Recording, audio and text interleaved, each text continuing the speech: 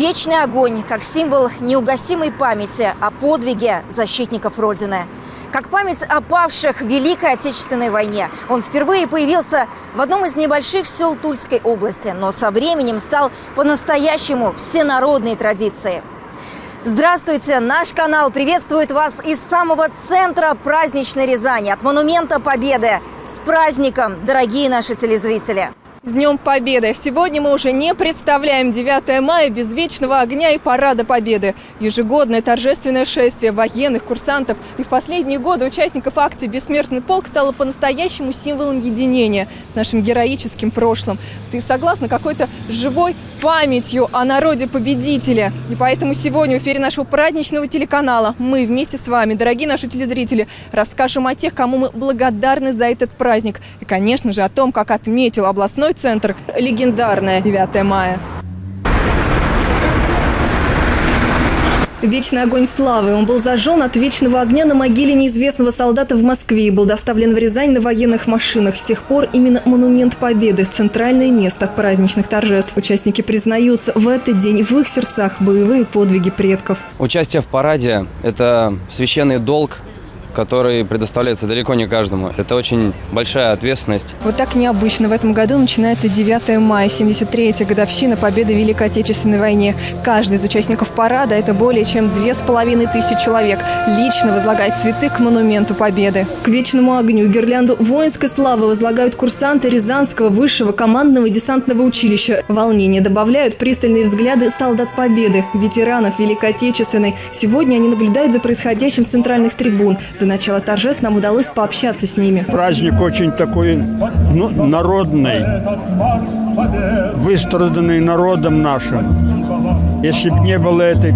победы, неизвестно, как бы мы жили. Под музыку песни «Священная война» нашего земляка, композитора Александра Александрова, знаменная группа Рязанского гарнизона выносит на площадь Победы российский флаг и легендарное Знамя Победы. Красный стяг, водруженный над Рейхстагом бойцами 150-й Идрисской дивизии в мае 1945 года. Командующий парадом традиционно объезжает все расчеты и лично поздравляет участников парада с 73-й годовщиной Победы в Великой Отечественной войне.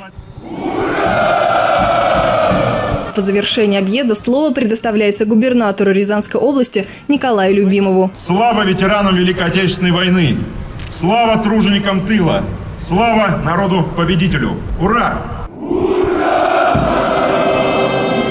По площади Победы проходит 21 парадный расчет войск и 5 парадных расчетов кадетов.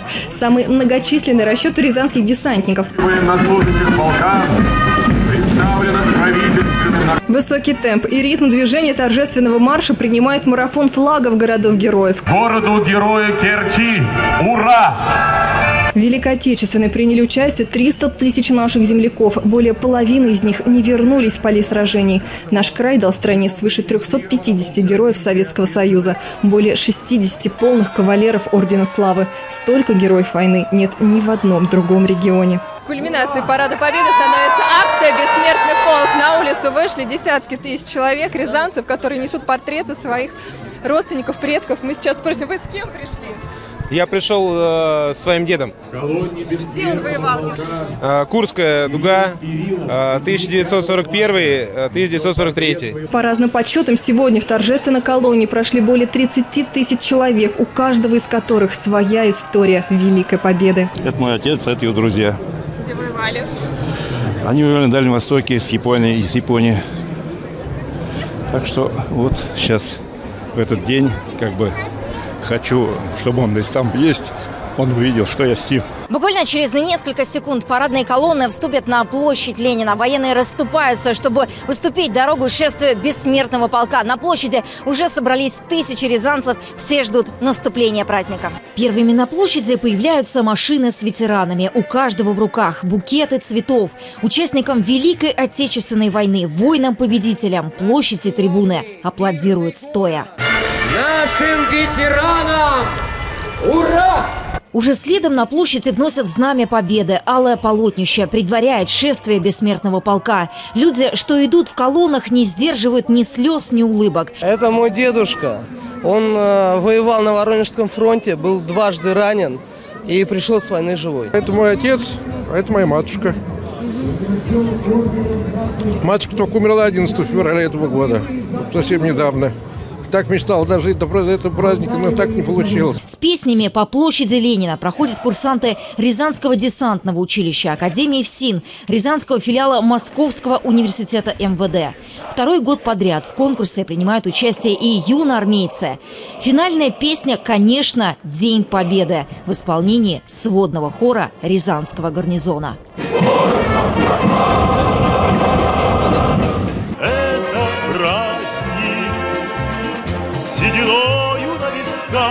Вальс Победы – финальный аккорд парада. Первыми на танец приглашают, конечно, ветеранов.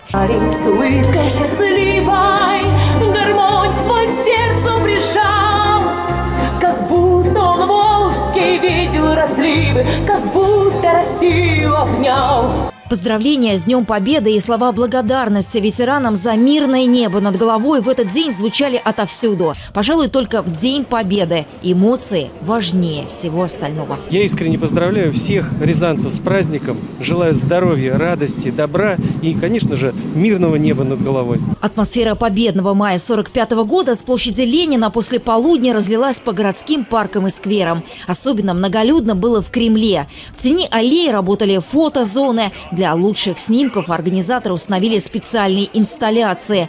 Проголодавшихся горожан почивали солдатской кашей из полевой кухни. Детей особенно впечатлила выставка военной техники. Народные гуляния в этот день прошли не только в центре города, а праздник Победы отмечали почти в каждом районе Рязани. С праздником, уважаемые рязанцы, с Днем Великой Победы! Мы, например, находимся на улице профессора Никулина, это между Рязанским медуниверситетом и второй поликлиникой. Здесь сегодня развернулась фронтовая поляна и организовало ее проведение региональное отделение ЛДПР. Либерал-демократы сегодня участвовали в торжественном шествии от площади Победы до площади Ленина. Колонны они прошли под синими флагами с символикой партии. Ну а позже праздник переместился сюда, на фронтовую поляну. Разуев Вениамин Сергеевич, мой дед, он ветеран Великой Отечественной войны, к сожалению, он уже умер. Воевал на танке Т-34. Вечная память и слава народу-победителю, нашим труженикам тыла, детям войны и всем тем людям, кто действительно считает этот праздник 9 мая Днем Победы и считает его своим личным праздником. Я знаю, что и ваши родственники также были на фронте.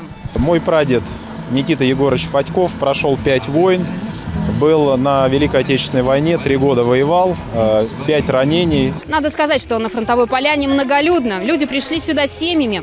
Многие из них с самого утра побывали на параде и теперь отдыхают здесь. Под открытым небом развернулась полевая кухня. Всех желающих угощают кашей и, как говорят здесь, фронтовым чаем с дымком.